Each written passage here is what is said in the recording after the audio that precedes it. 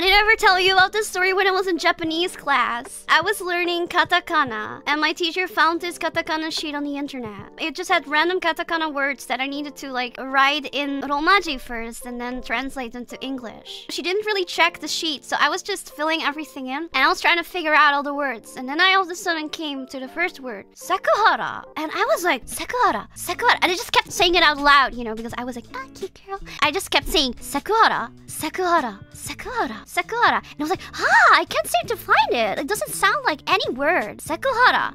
Sekuhara. And then she just walked straight up to me. She whispered in my ear, it means sexual harassment. And I was like, oh, oh, seku, sekusu? okay, okay, okay. Okay, I get it. Okay, understand. Okay, sexual harassment. And then I came to the next word, porno. Oh, Neptune. I was like, porno. Po, poru, no, porno. Porno. It's time to porno. stop. And then she came again.